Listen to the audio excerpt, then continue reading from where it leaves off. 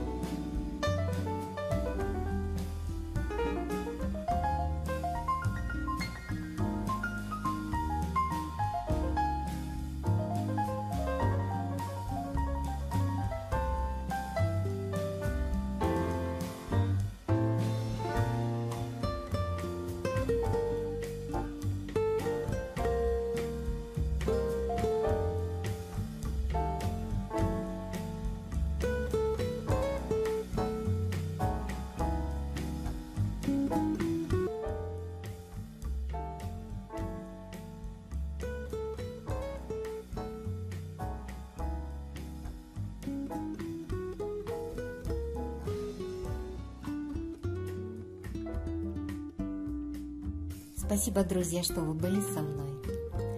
Надеюсь, моя информация поможет вам. Ставьте лайки, подписывайтесь на мой канал, пишите комментарии. Всего доброго вам!